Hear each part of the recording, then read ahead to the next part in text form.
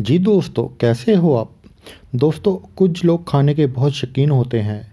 कई बार उन्हों को खाने में परहेज करना अच्छा नहीं लगता। इन कारणों की वजह से एसिडिटी हो जाती है।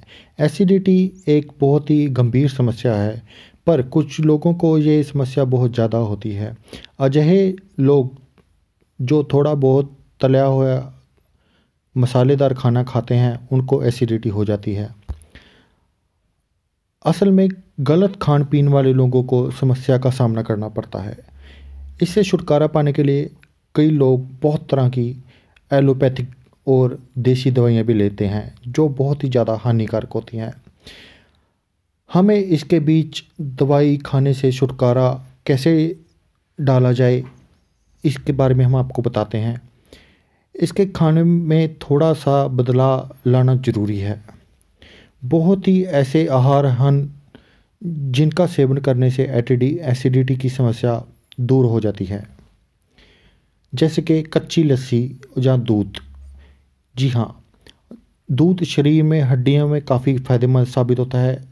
साथ में ठंडा दूध और कच्ची लस्सी के साथ एसिडिटी की समस्या से छुटकारा पाया जा सकता है। दूसरा इलाज है खारा, खीरा। जी दोस्तों कुछ लोग एसिडिटी से इतने परेशान होते हैं कि उनको हमेशा दवाइयाँ कोल रखनी पड़ती हैं।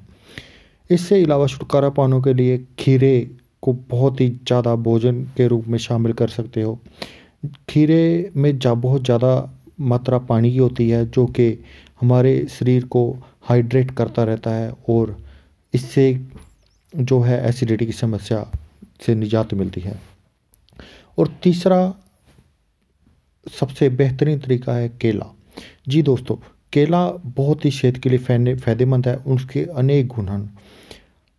केला एसिडिटी, एंटीऑक्साइड पोटासियम से भरपूर होता है। केला एसिड को घट करता है और फाइबर की मात्रा में मिलता है और एसिडिटी से राहत मिलती है।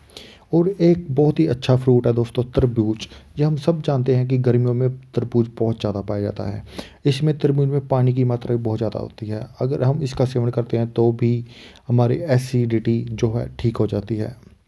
और तीसरी बहुत ही फ़ायदेमंद चीज़ है नारियल पानी। जी दोस्तों, नारियल पानी में बहुत तरह से टॉनिक पाए जाते हैं, जिसका बहुत ही तरीके से अगर हम इस्तेमाल करें तो एसिडिटी जो है वो दूर हो जाती है। नमस्कार दोस्तों, अगर आपको वीडियो पसंद आई तो हमारे चैनल को लाइक कीजिए सब्सक्राइब कीजिए। कमेंट करके बताएँ कि हमारी वीडियो आपको कैसी लगी। धन्यवाद।